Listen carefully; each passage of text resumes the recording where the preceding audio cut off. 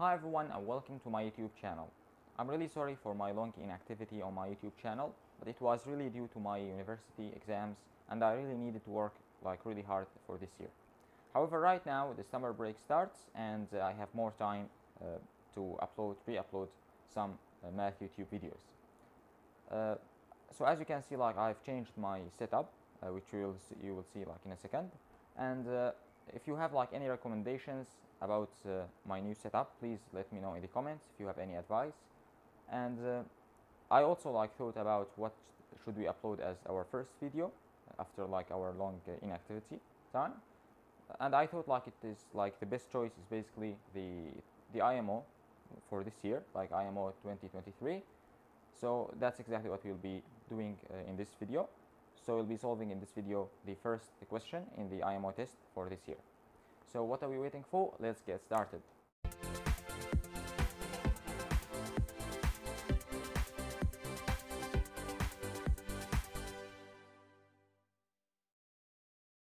Okay, so in this video we'll be solving the IMO day 1, problem 1 that appeared in this year IMO which was held by the way in Japan. Uh, so basically in this question, uh, this is basically a number theory question as you can see like we have some divisors here. So let's start with it. So the question asks us to determine all composite integers in greater than 1. So no primes here that satisfy the following property. So if we have like all the divisors d1, d2 up to dk, if we write them in ascending order starting from 1 as d1 and ending with the same number n as dk, uh, they are telling us that di divides di plus 1 plus di plus 2 for any i between like uh, 1 and k minus 2. Okay, so how exactly can we like approach this question? So one very very useful idea and very common idea when you have like a set of divisors, like when you have the divisors of the number like d1, d2 up to dn, like there are lots of questions uh, that ask you um, like that that are similar in this way. So usually how can we deal with these like di's? How can we deal with them? The simplest thing to do is just to take n and write its prime factorization. When you do this, you can know like uh, actually some some useful stuff. You can know, for example, what is d2, d3, like uh, d4, and you can also know what is dk, dk minus 1, dk minus 2. And the reason is simple. If you if you have like the number n as uh, p1 to the alpha 1, p2 to the alpha 2, and so on, like you have uh, written its prime factorization, then what is the first like the what is the first divisor of course after after 1 it's simply this first prime right? Like it's p1 okay so here like like we figured out what is, what is d2 uh, in the same way we can like find if we know what is p2 then uh, oh sorry d2 then we also know what is the last number uh, what is the last divisor which is uh, simply uh, dk minus 1 it's what like it's n divided by p1 because like as you know uh, whenever like we multiply like uh, the first divisor and the last divisor, then like we get the same number n. Okay, so let's see what exactly can we do in this question. So first of all, like what what uh, like have they told us about? So they told us first that we have di divides di plus 1 plus di plus 2. Of course, like here, this is uh, like this symbol is simply the divisibility symbol. So like uh, di is a divisor of this thing Okay, so this is like always correct for any i between 1 and k minus 2. Okay, so as we said, we'll simply apply like uh, the the advice, the general advice that uh, we mentioned earlier. So we will just take n and write its, its prime factorization, like p1 to the alpha 1, p2 to the alpha 2, and up to like p, uh, let's say, okay, we already have a variable m, so let's say pm to the alpha m. Okay, so now basically we want to apply what they told us, like di divides di plus 1 plus di plus 2. Uh, of course, like how can we deal with the di's? We simply uh, like can know, as we said, like the first few d's and the last few d's. So we'll simply like do this. Clearly, we will not substitute i equals 1 because it will be useless, right?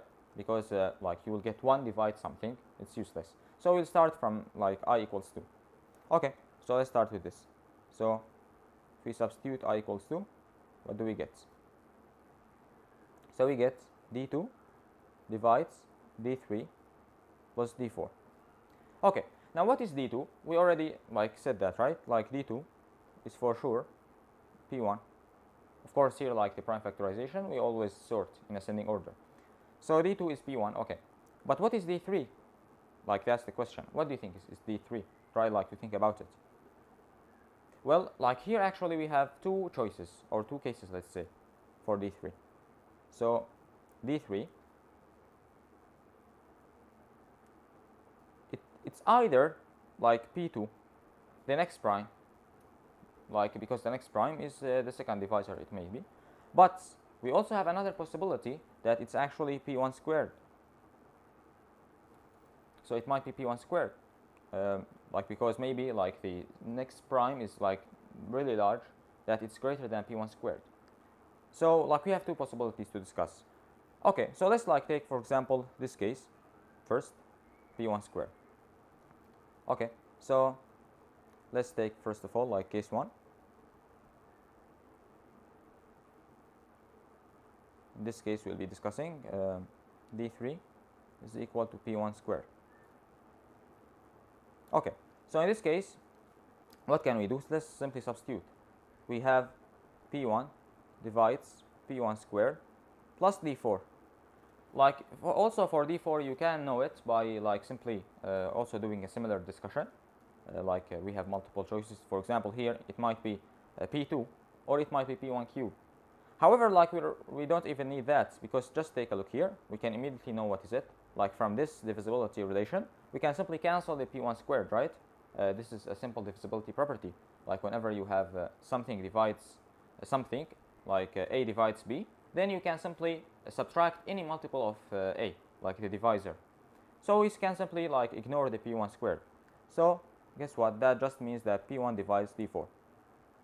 And guess what? That just leaves us with one possibility for d4. d4 is what? Can it be p2? Of course no, because we'll get, have like a prime divides another prime contradiction.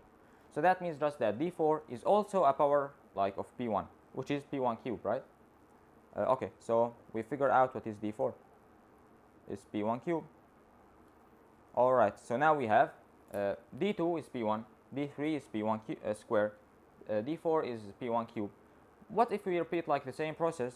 So for example, next we can like uh, substitute p1 square divides p1 cube plus d5. What does that also mean? Like easily, or we can also get that p1 squared divides uh, d5. So also d5 is a power of p1. So again, like we just get that uh, d5 is p1 to d4.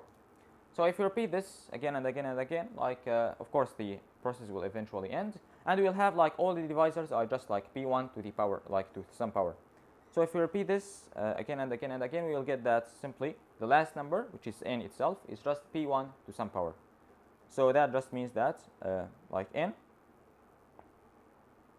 is equal, let's say like to uh, p1 to the alpha 1 that's what like we will get.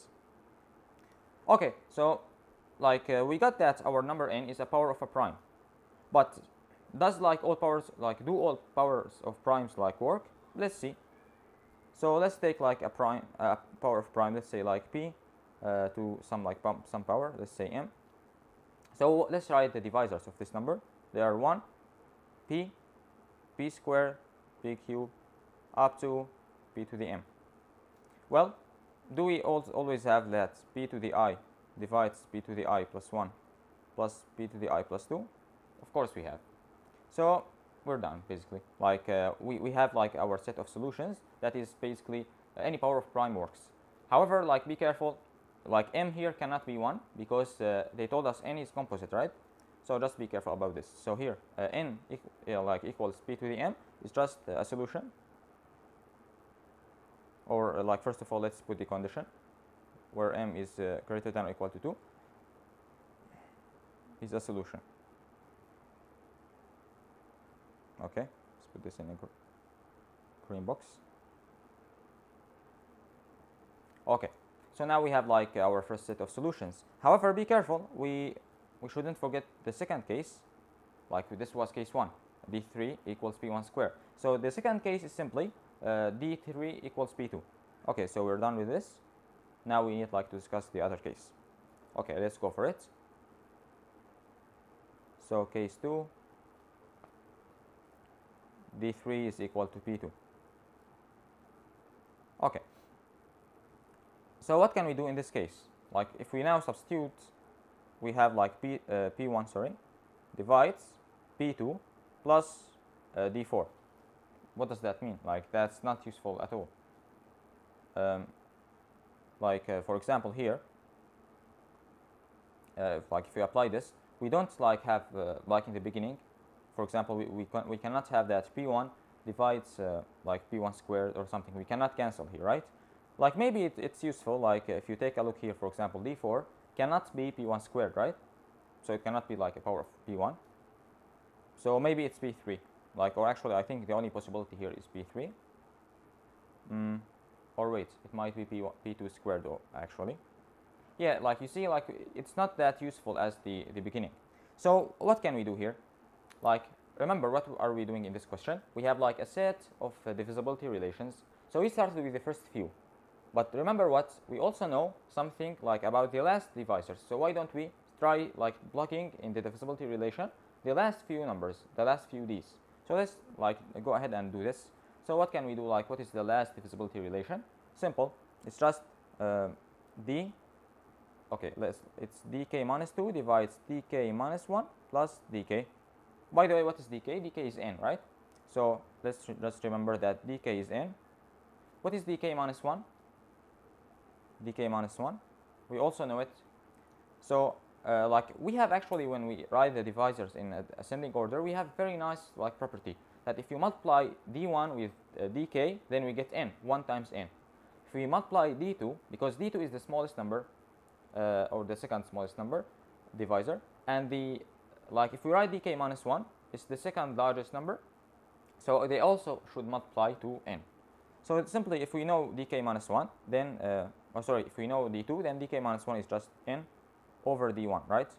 Uh, sorry d2 but what is d2 is just like p1 so we know what is dk minus 1 in the same way uh, we know dk minus 2 is also n to what uh, here? To p2 okay so now like we know like all the primes here we simply can substitute immediately by the way like maybe you're wondering what happens if like our number n is perfect square so like as we said like uh, if you multiply we will get uh, always n, n, n, n, n, n. But when we get the same number, like they, they both will be like the square root of n. So we also like get uh, our number n because square root of n squared is just n. So no problem at all.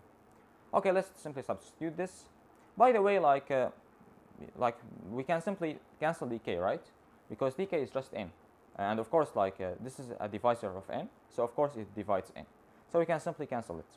So we can actually just write uh, dk minus 2 divides dk minus 1 and now after substitution we just get that uh, n over p2 divides n over p1 and uh, okay now like we have uh, like a silly fraction so we cannot deal with fractions like this of course they are integers but uh, I prefer like just multiply by p1 p2 like both the numerator and denominator right because you can think about the divisibility as uh, numerator and denominator so you can simply just say that uh, p1 times n divides uh, n times p2. Of course, you can cancel the n from both sides to get p1 divides p2. Wait, what? p1 divides p2? A contradiction, right? Okay, so basically uh, we're done in this case. We don't have any solution.